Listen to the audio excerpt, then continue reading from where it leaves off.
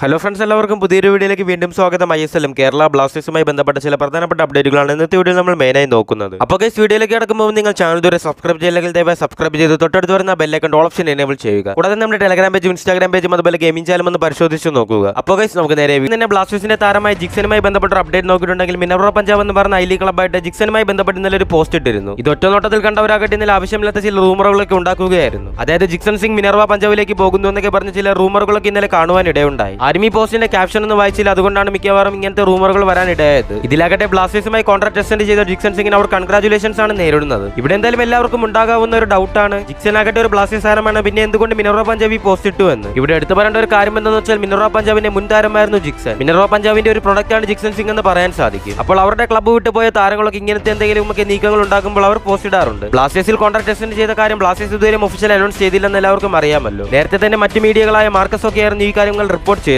മിനറോ പഞ്ചാബ് ഈ കാര്യം റിപ്പോർട്ട് ചെയ്ത സ്ഥിതിക്ക് എന്തായാലും ഈ കാര്യം ഏകദേശം ഒഫീഷ്യലായി എന്ന് തന്നെ പറയാൻ സാധിക്കും. മിക്കവാറും ഈ ആഴ്ച അല്ലെങ്കിൽ അടുത്ത ആഴ്ചയൊക്കെ ആയിട്ട് ബ്ലാസ്റ്റേഴ്സ് ഈ കാര്യം അനൗൺസ് ചെയ്യാനും സാധ്യതകൾ കൂടുതലാണ്. ഗൈസപ്പ് ഇനി ഞാൻ പറയുന്നത് നമ്മുടെ ബ്ലാസ്റ്റേഴ്സിന്റെ കോച്ച് ഇവാൻ വുക്കോമനാവിച്ച് ആകട്ടെ മനോരമ എന്ന മീഡിയക്ക് നൽകി ഇന്റർവ്യൂവിൽ പറഞ്ഞ കാര്യങ്ങളാണ്. മിക്കവാറും നിങ്ങൾ ഇന്നലത്തെ പത്രത്തിലൊക്കെ ഈ കാര്യം വായിച്ചിട്ടുണ്ടാകും. എന്തായാലും വായിക്കാത്തവർക്ക് വേണ്ടിയാണ് ഞാനിപ്പോൾ ഈ കാര്യം പറയുന്നത്. ഇവാൻ ഇതിൽ കുറെ കാര്യങ്ങൾ പറഞ്ഞെങ്കിലും ഇതിൽ പ്രധാനമായി രണ്ട് കാര്യങ്ങളാണ് ഞാൻ സൂചിപ്പിക്കുന്നത്. ആദ്യത്തെ ഇത് ആരാധകരെ കുറിച്ച് പറഞ്ഞതാണ്. ബ്ലാസ്റ്റേഴ്സ് ആരാധകരെ കണ്ടപ്പോൾ തനിക്ക് രോമാഞ്ചം തോന്നിയെന്നാണ് നമ്മുടെ കോച്ച് പറയുന്നത്. ആരാധകരാകട്ടെ ക്ലബിന്റെ മുന്നോട്ടുള്ള ഇന്ധനമാണ്. കൂടുതൽ മികച്ച താരങ്ങളെ ക്ലബിലേക്ക് ആകർഷിക്കാൻ അവരുടെ ആരാധകർ കൂട്ടം സഹായിക്കുമെന്നാണ് കോച്ച് പറയുന്നത്. ഇതിന്റെ ഒരു വലിയ എക്സാമ്പിൾ ആണ് ഗാരി ഹൂപ്പർ തുടങ്ങിയ വലിയ താരങ്ങളൊക്കെ ബ്ലാസ്റ്റേഴ്സിന്റെ ആരാധകരെ കണ്ടിട്ട് വന്നതാണ്. ഇത്രയും വലിയ ആരാധക പിന്തുണയുള്ള ഒരു ക്ലബിലേക്ക് വരാൻ മികച്ച താരങ്ങളൊക്കെ ആഗ്രഹിക്കാറുണ്ട്. കൂടാതെ ഇത്രയും ആരാധകരുടെ മുമ്പിൽ വെച്ച് കളിക്കുമ്പോൾ ടീമിന് വേണ്ടി നൂറ് ശതമാനം നൽകാൻ കളിക്കാർക്കും ഇതൊരു പ്രേരണയാകുമെന്നും കോച്ച് പറയുന്നുണ്ട്. ഇനി കോച്ച് എന്തായാലും പ്രധാനമായി പറഞ്ഞ രണ്ടാമത്തെ കാര്യം നോക്കിയിട്ടുണ്ടെങ്കിൽ ആരാധകർക്ക് നൽകിയിട്ടുള്ള വാഗ്ദാനമാണ്. കോച്ച് പറഞ്ഞ പ്രകാരം നിലവിൽ വാഗ്ദാനങ്ങൾ നൽകുക ബുദ്ധിമുട്ടാണ്. എന്നാൽ താൻ വാഗ്ദാനം ചെയ്യുന്നു ടീമിനെ ഇതിലും ശക്തിയുള്ള ടീമായി മാറ്റും. എതിരാളികൾക്ക് തോൽപ്പിക്കാൻ പ്രയാസമുള്ള ഒരു ടീമായി ബ്ലാസ്റ്റേഴ്സിനെ മാറ്റുക എന്നതാണ് തന്റെ ലക്ഷ്യമെന്ന് കോച്ച് പറയുന്നുണ്ട്. കൂടാതെ കേരളത്തിൽ നിന്നുള്ള ഫുട്ബോൾ ലോകത്തിന്റെ ബഹുമാനം നേടുമെന്നും കോച്ച് പറഞ്ഞായിരുന്നു കോച്ചിന്റെ വാക്കുകൾ അവസാനിപ്പിച്ചത്. ഫ്രണ്ട്സ് അപ്പം എന്തായാലും ഞാൻ സൂചിപ്പിക്കുന്നത് ബ്ലാസ്റ്റേഴ്സിന്റെ മുൻ താരമായ